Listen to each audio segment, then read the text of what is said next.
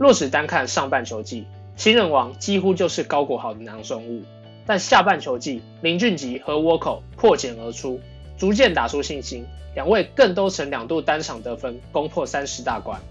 如此惊人的表现，也让两位渐渐成为年度新人王无法忽视的热门人选。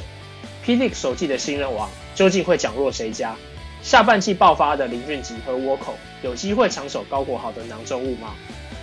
？Hello，大家好，我是安迪。今天我会透过这支影片列出几位有可能角逐年度新人王的热门人选，来看看究竟谁会最有机会拿下联盟第一季的新人王。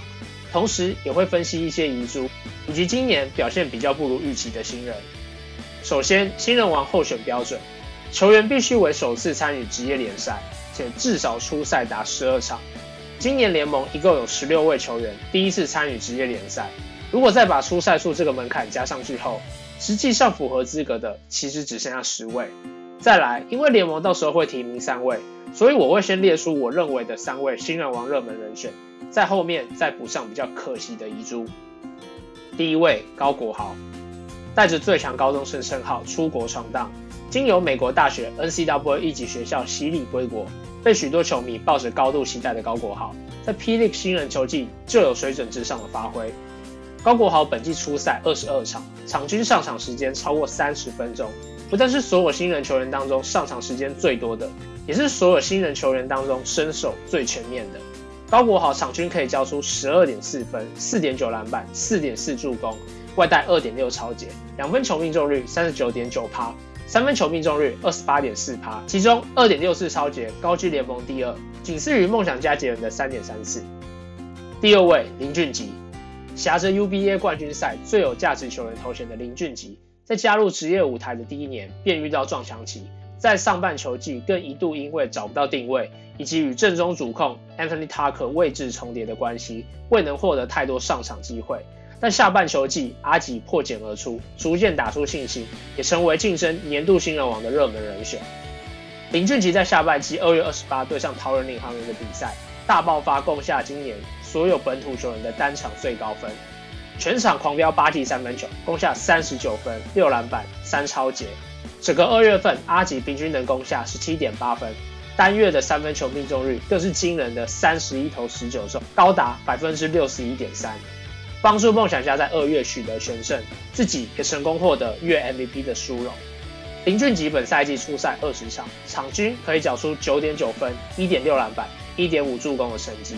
两分球命中率百分之四十八。三分球命中率是超水准的百分之四十八点三，三分球投的比两分球还要更准的男人，三分球命中率高居联盟第二，仅次于富邦勇士蔡文成的百分之五十四。但若考虑到出手的样本数，蔡文成整季仅出手二十四球，林俊杰则是有高达八十五次的出手，所以阿吉可以说是今年霹雳最恐怖的外线狙击手。最后一位同样也是台新梦想家的球员 Randall Walker。沃口在今年一月初以混血球员身份加入梦想家后，立刻成为 Kyle Julius 体系当中一名相当重要的球员。沃口身高六十五寸，大约一百九十六公分，不但拥有不错的三分线外投射能力，无球的空手跑位以及对抗性也都非常不错，让他在这套梦想家的小球系统当中，能够成为三四号位的锋线摇摆人。沃口本季出赛十八场，场均上场时间来到二十五分钟，可缴出平均九点七分。五点三篮板，零点六助攻，零点八超解的全面成绩，两分球命中率百分之四十五点一，三分球命中率百分之三十八点六。从一开始加入梦想家，从防守做起，来到下半季，沃克在进攻端也越来越融入梦想家，在三月份更是有两场比赛得分，攻破三十大关。那么我预测的得奖者会是谁呢？梦想家小跑车林俊杰与 Randall Walker 本季都曾两度单场得分，攻破三十大关。作为一名新人，这样的表现实属不易。我两位上下半季的表现有相当程度的落差。反观高国豪整季表现相对稳定，且在攻守两端都有不错的发挥，身手的全面性略胜上述两位一筹。所以我会认为最后高国豪将会在新人王的票选当中脱颖而出。除了上述三位球员，另外两位也是我认为打得非常不错，属于遗珠的球员。他们分别是富邦勇士的二房东曾祥军。和桃园领航员的关达佑，他们两位在职业生涯首年就有相当不错的表现。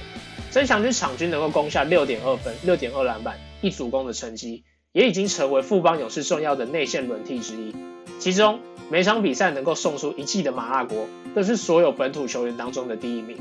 在田磊正式高挂球鞋，曾文鼎、吴代豪也逐渐步入生涯尾声。曾祥军今年也用表现展现出接棒中华队禁区的气势。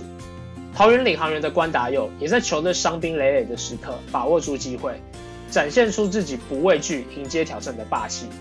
小叔场均七点二分、二点二篮板、二点九助攻，外带一点一超节的成绩，成为领航员不可或缺的后场战力。上述两位都是我认为今年新人王可能的遗珠。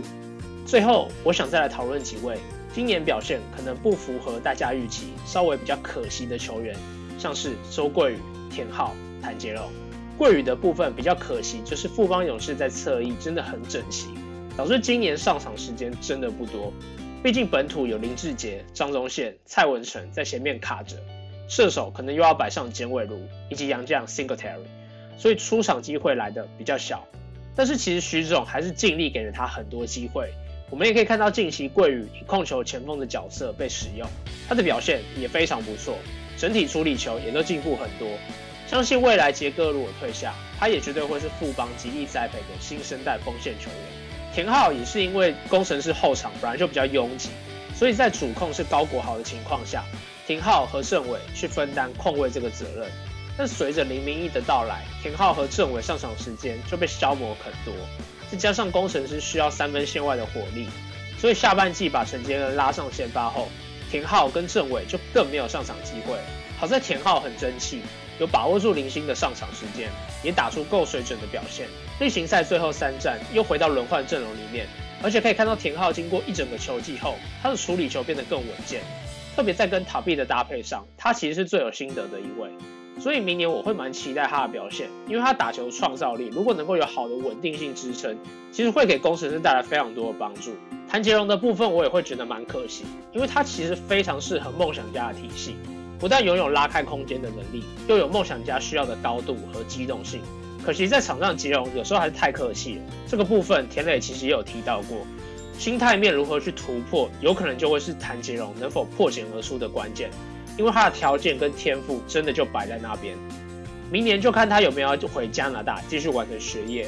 如果留在台湾，我相信田磊的退休，加上他确定会留在梦想家的经营团队，有他的指导，杰荣绝对能够更上一层楼。相隔二十年，台湾再度拥有全新的职业篮球联盟 p l u s l e a g 让所有球员多了一个表现的舞台。特别是对于年轻球员来说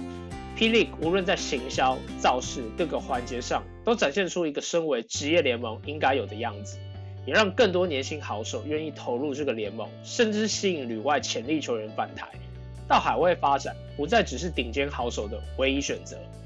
P League 的成立，也让黄金世代的经典球星林志杰、杨敬敏、曾文鼎、田磊、吴代豪等球员，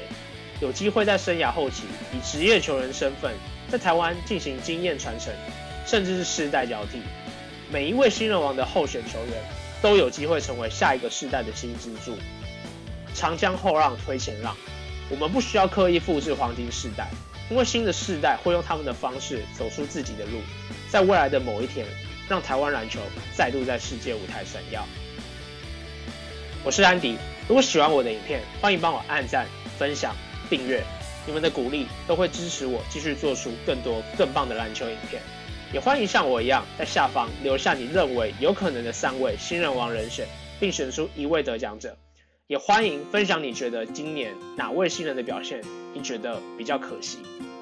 那么我们就下次影片见喽，拜拜。